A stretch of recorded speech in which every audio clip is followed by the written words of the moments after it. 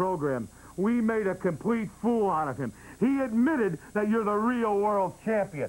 He admitted that he couldn't stand to get in the ring with you. And if he, if he did get in the ring with you, it wouldn't last more than 10 minutes that you'd wipe the mat with him. He apologized. He said he was sorry for everything. And you know what else?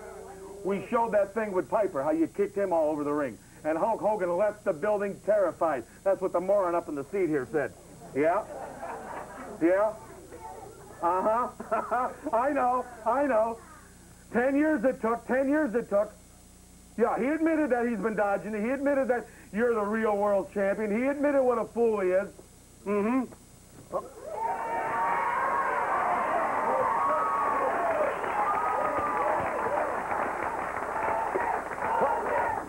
Turn down the muscle amplifier.